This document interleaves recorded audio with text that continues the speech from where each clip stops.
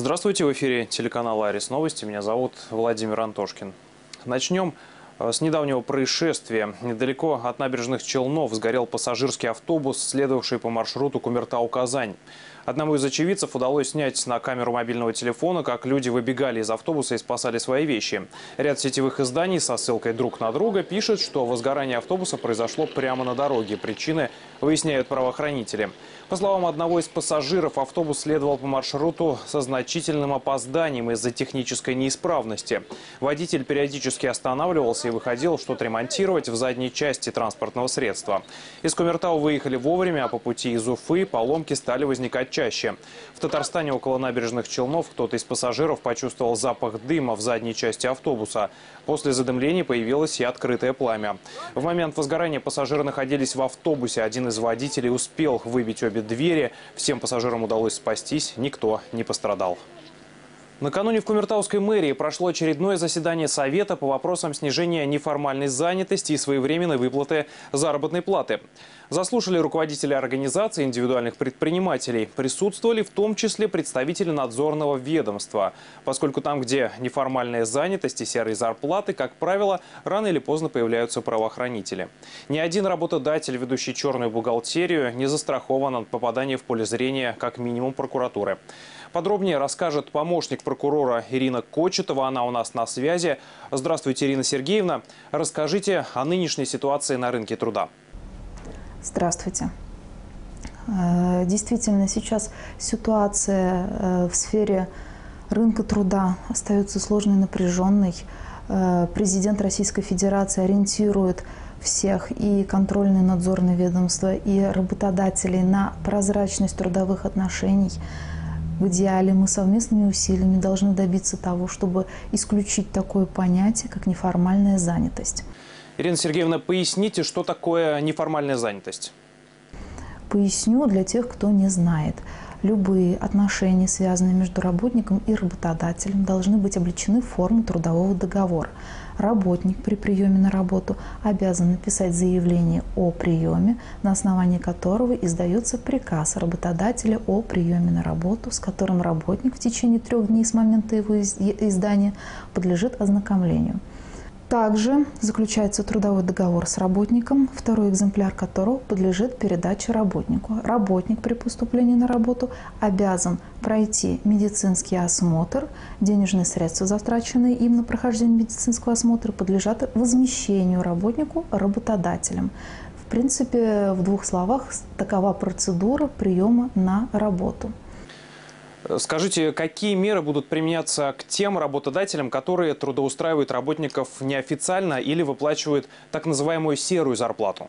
В случае выявления нами, как надзорным органом, фактов неформальной занятости, допущения работника к исполнению им трудовых обязанностей без надлежащего оформления трудовых обязанностей, э, будут приниматься меры административного воздействия, в частности, Кодексом об административных правонарушениях предусмотрена такая ответственность, как эм, ответственность за допуск к выполнению трудовой функции лица лицом неуполномоченным на то, если работодатель против заключения трудовых отношений.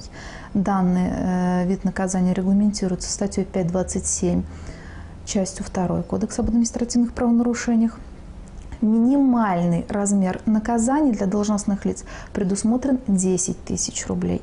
В случае, если мы установили факт неоформления работодателем с работником трудовых отношений, либо ненадлежащего оформления трудовых отношений, э, работодатель подлежит привлечению к административной ответственности, предусмотренной статьей 5.27, часть 3 Кодекса об административных правонарушениях.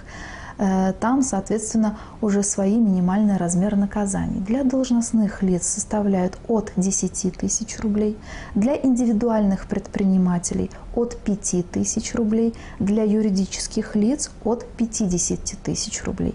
Кроме того, мы прекрасно с вами понимаем, да, что ненадлежащее оформление либо не оформление трудовых отношений влечет за собой цепную реакцию дополнительных нарушений. Это не прохождение работником медосмотра, не выдача ему средств защиты, не проведение с работником вводных первичных инструктажей, не проведение специальной оценки рабочих мест. И в совокупности были случаи э, что выявляли в деянии одного работодателя несколько составов административных правонарушений, минимальный размер наказания в совокупности по всем составил приблизительно около 80 тысяч рублей. В связи с этим я предлагаю просто задуматься с точки зрения выгоды, что же все-таки выгоднее – оформить надлежащим образом работника и требовать, согласно букве закона, с него выполнения возложенных на него трудовых обязанностей, либо уклониться и получить э, достаточно большую сумму штрафа. Спасибо за компетентные ответы. Напомню, что у нас на связи была помощник прокурора Ирина Кочетова. Представитель надзорного ведомства рассказала нам о неформальной занятости.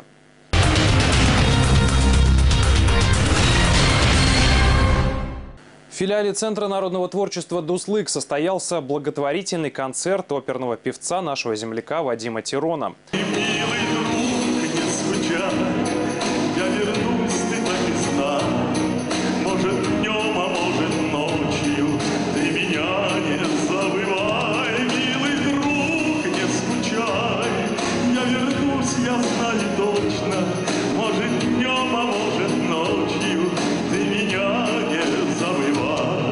Вадим ныне солист Тверской областной академической филармонии, народный заслуженный артист России.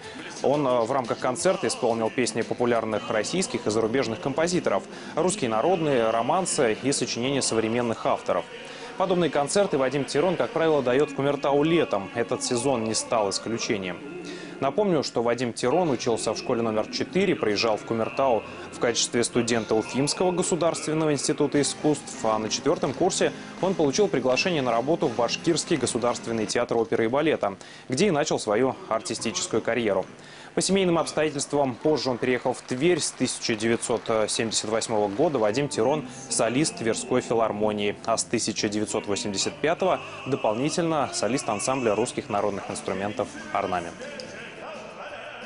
Люблю вас. Будьте счастливы.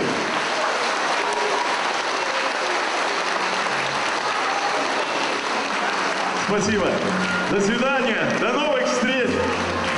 И это была последняя информация выпуска. Я с вами прощаюсь. Всего доброго.